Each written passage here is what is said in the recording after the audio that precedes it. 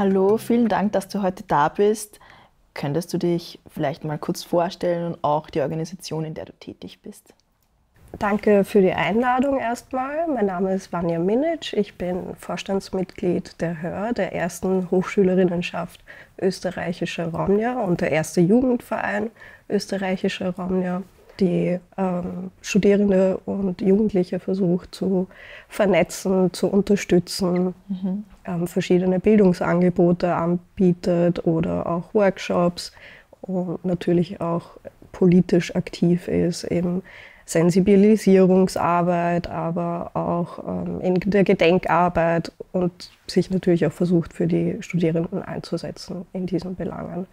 Und bin nebenbei auch noch Psychotherapeutin in Ausbildung unter Supervision und habe Psychotherapiewissenschaften studiert. Dann würde ich gleich mal meine erste Frage an dich stellen, nämlich was brauchen Studierende, die eben Diskriminierungserfahrungen haben, Rassismuserfahrungen haben, welche Unterstützungsstrukturen sind da nötig?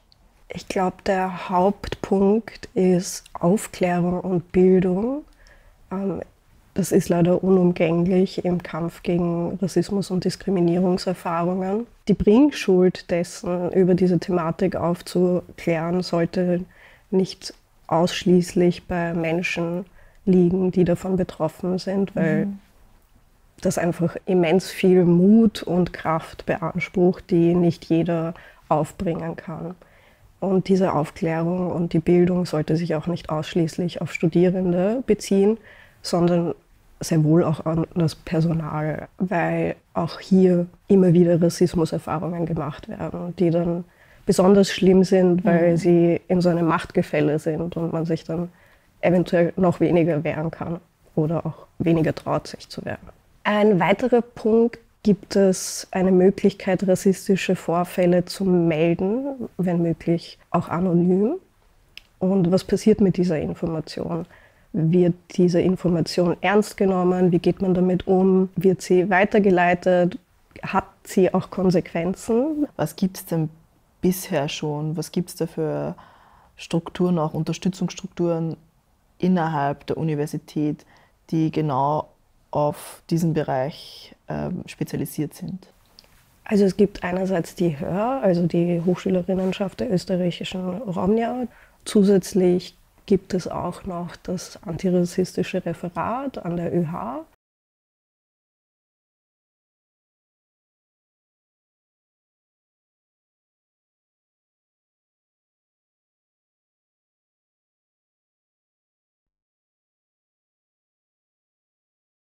die setzen sich nicht nur für Rassismus betroffene Menschen ein, sondern auch für ausländische Studierende. Würdest du sagen, dass es von der Uni Wien selbst mehr Unterstützung, mehr Förderung für solchen Programmen geben sollte? Das wird sicher Sinn machen, aber mhm. die Frage ist auch, wie öffentlich sind die überhaupt? Wie mhm. zugänglich sind mhm. die? Wissen Studierende überhaupt, dass es die gibt? Melden sich dort Leute?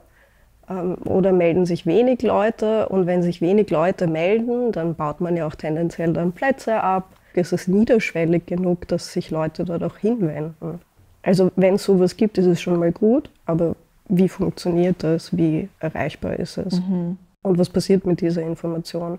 Werde ich dort überhaupt unterstützt? Werde ich dort ernst genommen? Gibt es jetzt auch außerhalb der Uni Organisationen, Vereine, die sich ähm, damit beschäftigen, die vielleicht auch für Studierende zugänglich sind, wo man eben Kontakt aufnehmen kann, wo man vielleicht auch Beschwerden hinschicken kann. Also wichtig wäre, glaube ich, auch ähm, in erster Linie Zara Zivilcourage und rassismuskritische Arbeit, da sich die einerseits für Menschen einsetzen, die von Rassismus betroffen sind, gleichzeitig aber auch eine Meldestelle mhm. für rassistische Erfahrungen bringen. Dadurch werden enorm wichtige Statistiken erarbeitet, die eventuell auch der Politik zugespielt werden kann. Und zusätzlich, falls was ist und das auch strafrechtlich relevant ist, bieten die eine Rechtsberatung an. Mhm. Dann gibt es äh, mir besonders wichtig zu erwähnen, weil ich aus dem psychosozialen Bereich komme, ist Wir sind auch Wien. Das ist eine Plattform für BPOCs, die sich ähm, besonders mit mentaler Gesundheit auseinandersetzen und auch Menschen aus dem psychosozialen Bereich dafür sensibilisieren und trainieren. Dann gibt es auch noch den Verein Disrupt für diskriminierungsfreie und rassismuskritische Bildungsarbeit und für politische Teilhabe. Es braucht diese Unterstützungsstrukturen, aber wo sind da oft die Herausforderungen für Studierende im universitären Rahmen? Dass man oft nicht schlagfertig im Moment ist und dass man sich vielleicht im Nachhinein denkt, oh, ich hätte das und das und das sagen können. Das passiert oft. Oder warum habe ich mich nicht gewehrt? Manchmal überwältigen einen solche Situationen so sehr, dass man nichts sagen kann oder mhm. dass man sich einfach nicht wehren kann. Und es muss einfach eine Plattform geben für Leute, die dann halt auch danach hingehen. Was können Studierende abseits eben von den verschiedenen Unterstützungsstrukturen, die es schon gibt, für ihr eigenes Wohlbefinden tun, um sich eben wohlzufühlen in einer vorwiegend weißen Institution? Der wichtigste Faktor ist wohl, sich ein soziales Umfeld zu schaffen, in dem solche Themen angesprochen werden können und ähm, Räume da sind oder Menschen da sind, die diese Themen auch halten können im übertragenen Sinne, die dann nicht kippen in das, ja, aber hat er das wirklich so gemeint, die einfach sensibilisiert sind für solche Themen und das auch aushalten. Damit meine ich Freunde und Familie. Natürlich ist es immer angenehm, wenn man auch Menschen im sozialen Umfeld hat, die ähnliche Erfahrungen haben, aber das ist nicht zwingend immer nötig. Und es ist halt auch wichtig, dass sich Leute für Freunde oder für Familienmitglieder einsetzen, die nicht von Rassismus betroffen sind.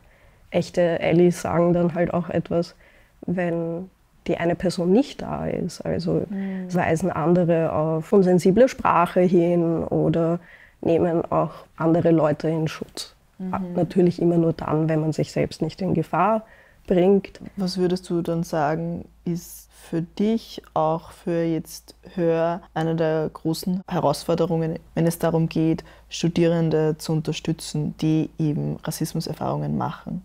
Wir haben in unserer Community ein großes Outing-Problem. Das ähm, hängt einfach zusammen mit der Angst vor der Diskriminierung und Rassismus, die man potenziell erfahren könnte, wenn man sich outet. Mhm. Antiziganismus beschreibt, ähnlich wie Antisemitismus, ein ganz lang anhaltendes strukturelles Phänomen, das zurückgeht bis ins Mittelalter mhm. und ganz tief in unser kulturelles und soziales Erleben und Unbewusstes sich eingenistet hat. Also oftmals reproduzieren Menschen oder teilweise auch Kinder und Jugendliche diese rassistischen Strukturen, ohne überhaupt zu wissen, was mhm. sie da machen. Also wir kämpfen für Sichtbarkeit mhm. und es ist, glaube ich, auch extrem wichtig, Repräsentation und Identifikationsfiguren zu schaffen. Mhm. Und wir bemühen uns, das auch teilweise zu sein. Und das war auch einer der Hauptgründe, warum ich zur Hör gekommen bin. Gibt es für dich jetzt noch zum Schluss irgendwas, was du unbedingt noch loswerden möchtest, was du findest, ist besonders wichtig noch zu erwähnen? Ich denke, dass wir grundsätzlich auf dem richtigen Weg sind, mhm. aber dass es noch ein bisschen dauern wird. Aber ich, ich sehe auch viel Hoffnung, auch mit den jüngeren Generationen, die sich nicht nur gegen Rassismus aussprechen, mhm. sondern ganz wiff und gebildet sind mhm. und für viele Themen sensibilisiert sind. Natürlich wird das nicht über Nacht passieren, aber es ist ein Prozess da und, und es ist nicht hoffnungslos, auch wenn es manchmal punktuell so scheint. Vielleicht wäre es da auch noch wichtig zu sagen, dass man auch als Aktivistin oder politisch aktiver junger Mensch sich immer bewusst sein muss, dass man nur so viel tun kann, wie es einem die Kapazität erlaubt, mhm. dass man immer auf sich schauen sollte, dass man nicht die ganze Bürde der Welt auf den eigenen Schultern tragen sollte, und dass niemand was davon hat, ähm, wenn man selbst dabei zugrunde geht. Vielen Dank, dass du da warst, dass du das mit uns geteilt hast. Vielen lieben Dank für die Einladung.